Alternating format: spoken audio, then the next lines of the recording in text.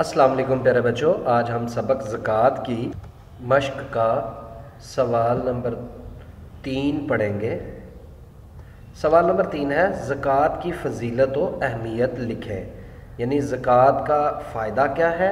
यानी उसकी फजीलत क्या है? यानी उसका उस, यानी ज़क़़त का कितना सवाब है और ये कितनी अहम है। ठीक है? इसके बारे में आज के सबक में हम पढ़ेंगे। प्यारे बच्चों, जैसा कि आप देख सकते हैं, आपकी इस्लामियात की किताब के सफ़र नंबर तेईस पर इस सवाल का जवाब आखिरी लाइन में है, ज़क़़त की फजीलत व अहमियत।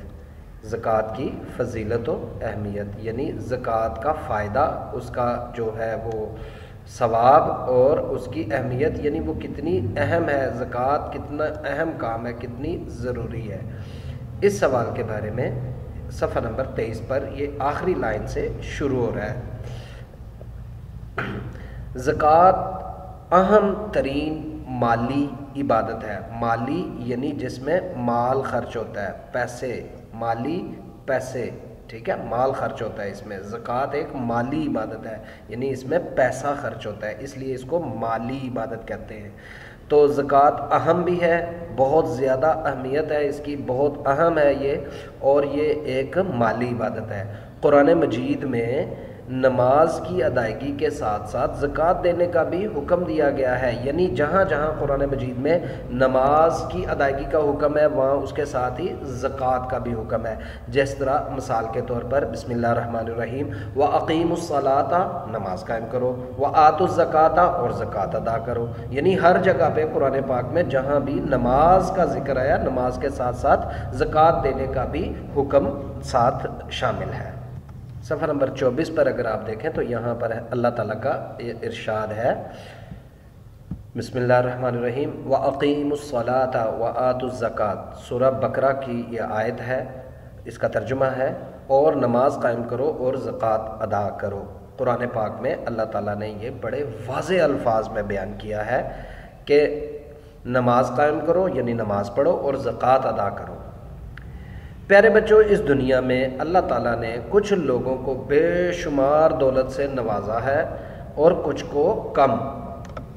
इस तस्वीर के अंदर आपको नज़र आने वाले ये दुनिया के अमीर तरीन लोग हैं। यानी अल्लाह ताला की, जो अल्लाह ताला ने इनको बहुत ज़्यादा दौलत से नवाजा है। बहुत ज़्यादा दौलत है इनके पास। दुनिया के ये अमीर तरीन लोग हैं। इसी तरह अगर इस तस्वीर के अंदर देखें तो ये शख्स गरीब आदमी है, गरीब तरीन है, इसके पास कोई दौलत नहीं है, यानी इसके पास पैसा नहीं है, जायदाद नहीं है, दौलत नहीं है। तो इस तरह अल्लाह ताला ने कुछ लोगों को बेतहाशा दौलत अता की है और कुछ के पास कुछ भी नहीं है या बहुत कम दौलत है। जिस तरह ज़िंदगी और मौत अल्लाह ताला के हाथ में, इसी तरह रिज्क भी, यानी दौलत, पैसा, जायदाद, रिज्क कहलाता है। तो रिज्क भी अल्लाह ताला के हाथ में है। वो जिसे चाहता है, अता करता है और जिससे चाहता है, रोक लेता है। ठीक है? यानी जिसको चाहे वो जितना मर्ज़ी अता कर दे। जैसा कि आपने तस्वीर में देखा कि कुछ लोग जो थे, वो बहुत अमीर लोग थे, दुनिया के नंबर वन अमीर तरीन लोग थे और एक एक ऐसा आदमी भी था जिसके पास कुछ नहीं था। तो अल्लाह ताला जिसको चाहे वो अता कर दे, जिसको चाहे वो रोक ले। ज़क़़त की अदायगी इस बात का इजहार भी है कि माल और दौलत दरअसल अल्लाह ताला की दी हुई नेमत है। यानी ये जो माल और दौलत होती है, ये अल्लाह ताला की दी हुई नेमत होती है। यानी कि रुपया, पैसा, दौलत, जायदाद, ये जो जितना भी ये जो माल होता है, ये अल्लाह ताला की दी हुई नेमत होती है। अल्लाह ताला की तरफ़ से अता करदा ये नेमत होती है। ये माल दौलत, ये पैसा, ये सब कुछ अल्लाह की दी हुई नेमत है। इसलिए इसके हुक्म के मुताबिक मस्किन और दूसरे मुस्तक लोगों को भी इसमें से हिस्सा दिया जाए। मुस्तक लोग यानी जिनका हक बनता है यानी कल मैंने आपको बताया था इससे पहले जो आ, आपका जो सबक था उसमें आपको बताया गया था कि ये मुस्तक लोग कौन हैं और कितने हैं। आठ लोग थे मुस्तक उनको मसारफ़ कहते हैं मसारफ़ ज़क़़त मुस्तक लोग जिनका हक बनता है। अल्लाह की दी हुई नेमत, यानी दौलत में से उनका भी हक है। हमें वो अदा करना चाहिए। जब कोई मुसलमान मालो दौलत जैसी नेमत अल्लाह ताला की राह में कुर्बान कर देता है, यानी ख़र्च कर देता है, यानी ज़क़़त की सूरत में या किसी की मदद करता है अल्लाह ताला की खुशनुदी और रज़ा हासिल करने के लिए तो अल्लाह ताला खुश होता है और इसे अपने ऊपर कर्ज़ करार देता है। कर्ज़, यानी कर्ज़ा करार देता है, उधार। और वादा करता है कि वो ये कर्ज़ कई गुना बढ़ाकर वापस करेगा। यानी अगर आप, इसमें मुख्तलिफ़ अहकाम, हुक्म हैं, यानी एक एक मिसाल भी बनी हुई है कि दस दुनिया और सत्तर आखरत। यानी अगर आप दुनिया में दस रुपये खर्च करते हैं तो आखरत में उसका बदला सत्तर के बराबर है।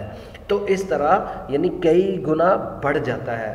कर्ज जो अल्लाह ताला अपने ऊपर करार देता है कर्ज, जिस पैसे को अल्लाह ताला उसे कई गुना बढ़ा कर वापस करता है। तो इस्लाम में ज़क़़त अदा करने का बहुत ज़्यादा सवाब और अदा ना करने का बहुत बड़ा गुनाह है। यानी जो इंसान ज़क़़त अदा करता है, उसको बहुत ज़्यादा सवाब मिलता है और जो नहीं अदा करता, उसके लिए सख्त अजाब है। बहुत सख्त उसका गुनाह है कि अगर वो ज़क़़त अदा नहीं करता। तो प्यारे बच्चे, इस सवाल को आप यहाँ तक अच्छी तरह से याद कीजिएगा और जो सवाल आपसे पूछे जाएँगे, उनके मुनासिब जवाब मंतखब कीजिएगा। अल्लाह हाफिज़।